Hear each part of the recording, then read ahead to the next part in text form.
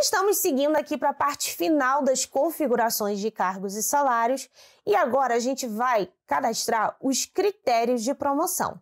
A gente já alimentou a hierarquia, já alimentamos as competências e todas essas informações serão necessárias para o nosso critério de promoção, ok? A primeira informação que a gente vai precisar vincular, né, mais uma vez, é informar aqui para qual empresa nós estamos realizando essa configuração. Mais uma vez, ele vai me trazer as funções aqui, né, o código das, das funções, a empresa. E aqui, mais uma vez, eu vou encontrar, né, a minha hierarquia de função que eu estou usando de exemplo aí para vocês, tá? Eu posso começar aqui para o auxiliar administrativo júnior? Posso. Mas se eu também quiser começar a partir de administrativo pleno, eu também posso, até porque nessa conjuntura, administrativo júnior é uma função porta de entrada aqui na minha empresa, ok? Então eu vou começar aqui por administrativo pleno e aqui eu já dou de cara com os quatro critérios de promoção que o PeopleNet RH oferece, ok? Então aqui eu posso atribuir notas de avaliação. Todos esses quatro critérios não são obrigatórios estarem marcados, é sempre pela definição da gestão de RH.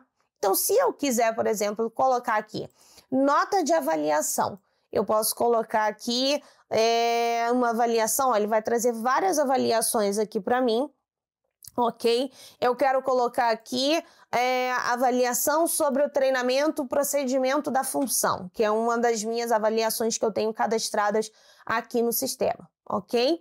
Eu posso vir aqui, posso definir uma nota mínima de 0 a 100, eu vou colocar aqui 70%, tá? Posso atribuir mais avaliações, o sistema não me limita só uma, ah, Tatiana, nesse caso aqui, nessa primeira hierarquia de função, eu prefiro não atribuir notas de avaliação. Sem problema, é só deixar desmarcado, tá? Nesse caso aqui, eu vou deixar marcado só para a gente ver o resultado lá na frente, ok? Eu tenho aqui tempo na função anterior, ok?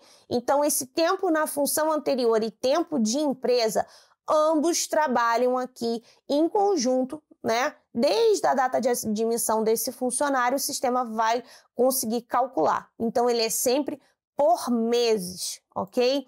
Então, se eu quero aqui, por exemplo, o tempo necessário na função anterior, que seria aqui administrativo júnior, eu posso definir aqui em meses um tempo né, mínimo que o funcionário que é administrativo júnior, ele pode participar aí, quem sabe, de um processo, uma análise interna para uma futura promoção para administrativo pleno, ok?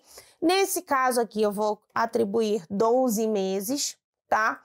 Tempo de empresa, ok? Nesse tempo de empresa, nem sempre vai ser exatamente a mesma quantidade aqui do tempo da função, tá? Porque se eu tenho aqui dentro dessa hierarquia várias funções antecessoras, né?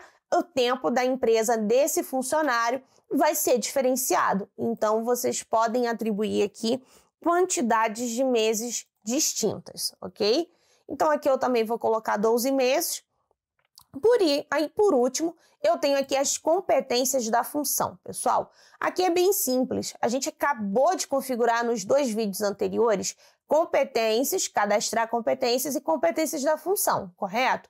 Então, se eu quero que essas competências da função sejam, é, façam parte aí desses critérios de promoção, eu vou marcá-las e vou salvar aqui, vou registrar esse cadastro, ok? Vai carregar aqui critérios de promoção cadastrados na, com sucesso, tá? Se você precisar, você vai fazer isso para todas as outras funções. Então, se eu precisar vir aqui em auxiliar administrativo sênior, eu vou voltar e vou fazer o mesmo processo, tá?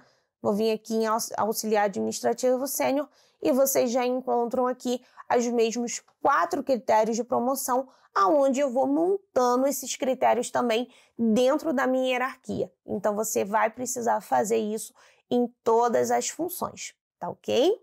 Vamos para o próximo vídeo que a gente já vai ver o resultado final desses critérios de promoção.